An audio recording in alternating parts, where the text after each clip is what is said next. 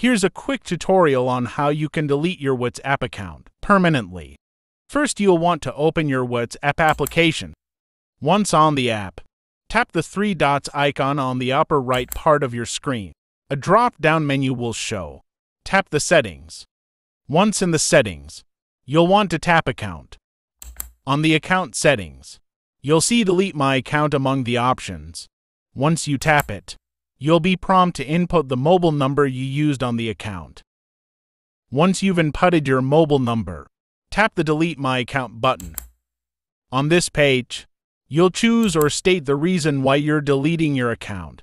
Once you stated your reason, tap the Delete My Account button. It'll ask you if you really want to delete your account. Proceed on the deletion by tapping the Delete My Account button. You now deleted your WhatsApp account. Like and subscribe if it helped.